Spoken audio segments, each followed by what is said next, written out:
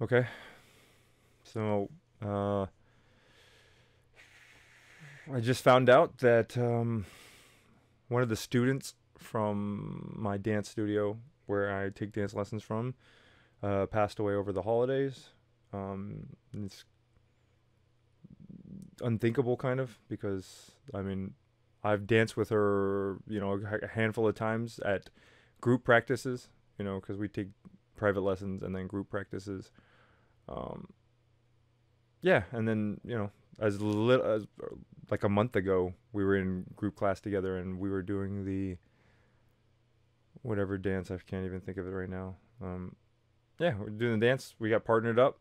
You know, just seemed like just normal everyday stuff. You never think about this stuff kind of happening and happening so suddenly. And um, I th- I want to say that my first dance performance, I want to say that sh- the venue, the the event that I did my first dance performance, um, I think I remember us were we were both backstage, kind of like just hanging out, getting ready, waiting for our turn. I want to say that she said that was her first dance performance too. Um, yeah, it was awesome, man. Because like I watched when you're at the dance studio, you see everybody kind of progressing around. You know, when you're in there, you'll see other people practicing their stuff. You know, like especially leading up to an event, you'll see them like you kind of like know their kind of routine before they actually perform it because you know you're around for the practices and or you're you, if you're around you'll float like float by each other and you'll notice and so like i i remember her routine and it was fun and it was it was very serious and then it got like goofy and like fun and i don't know man i i don't know how old she was and the situation her health you know maybe she had health problems but like i've always said this uh, when i was turning 30 i had a friend close to me die.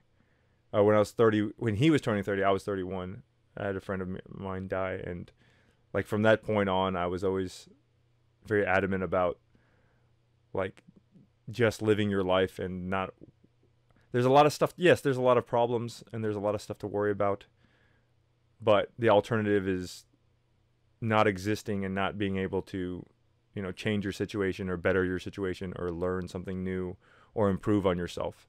So instead of worrying all the things that are wrong and all the things that are going bad you know, just okay. Well, what what am I going to do today? What what can I do to improve my situation? And like again, dance classes or whatever. I mean, however old you are, like if I, not if I die, when I die, like I want to. I want it to be doing something like that, like challenging myself, learning something new, trying to perform in front of people something man. That's i mean that's the way to go out. That's the way to live right? Go out living doing stuff. That's it's, inspiring dude. Like damn it dude. It's new it's the new year. I mean it's january 1st i just made my video earlier today but just yeah man. It's gonna be a good year and it's sad. It really is sad. You know that stuff like this happens. It's I don't want to sound cold, but it's part of life. And either you learn something from it and you use it to inspire you to be someone better and do something better for yourself or for others. You know, or you just forget about it and don't and just leave it on the wayside. But we'll see. I mean,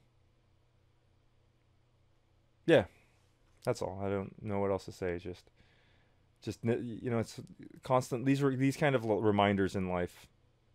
As as difficult and sad as they are, they're they're really beautiful. It's a really beautiful, like inspiring, motivating. Yeah, I mean, this should be good. It should be a good thing to just be like, man, dude, my like, well, life is worth it, and just treasure it and yeah, treasure it yeah, that's it. Have a good one, guys.